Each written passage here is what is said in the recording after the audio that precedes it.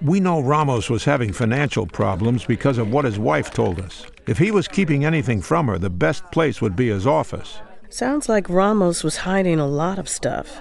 You think Kent didn't really know what he was doing at the lab? Maybe he wanted to keep some negative test results secret for fear of losing Kent's support. That's good enough for me. I'll get the judge to sign. You go see what you can find.